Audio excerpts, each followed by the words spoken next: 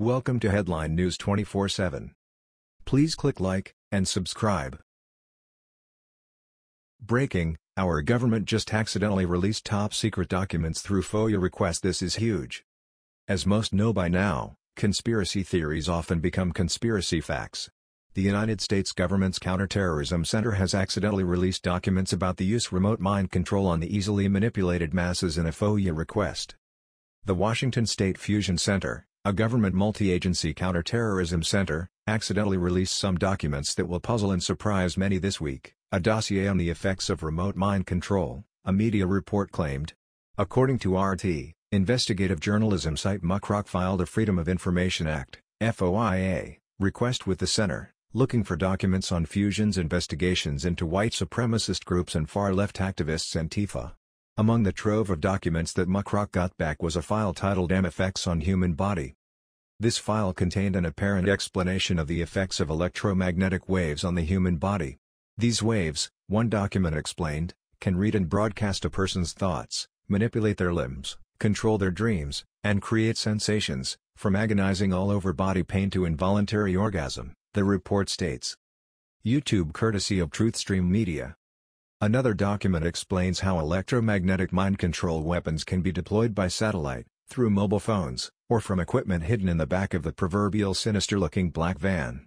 It really is the stuff of nightmares and totalitarian control of the entire population. Nowhere in the file is any research by the center on this technology mentioned, nor is the origin of the images explained. No agency logos are present on the images, and it is unclear whether they were intended for a different release or not. Likewise, they could simply have belonged to a member of staff and found their way into the FOIA release by accident. Either way, we now have even more evidence that the US government is seeking to control our minds. To what extent?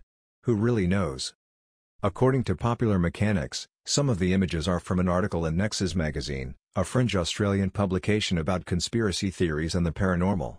The article in question describes a lawsuit filed by a John St. Clair Agnew against the NSA in 1992. Agnew claimed that the NSA used electromagnetic technology to assassinate U.S. citizens covertly or run covert psychological control operations to cause subjects to be diagnosed with ill mental health.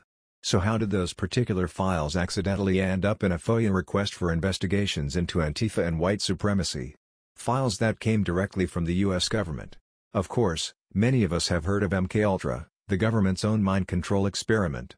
Historically, the CIA experimented with mind control as part of its MKUltra program during the Cold War. According to Senate hearings in 1977, these horrific human experiments included the use of hallucinogenic drugs, hypnosis, and sensory deprivation. That was the news. We thought you might be interested in knowing about this. Please click like and subscribe. Thank you.